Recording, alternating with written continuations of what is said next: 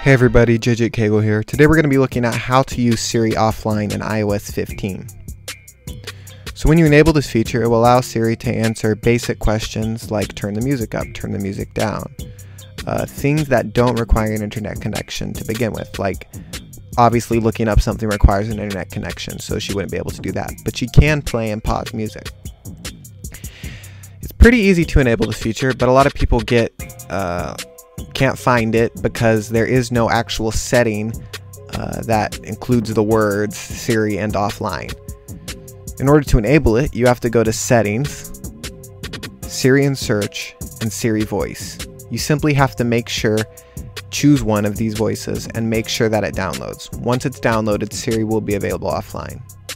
Thanks for watching. I hope this fixed your problem. JJ Cagle out.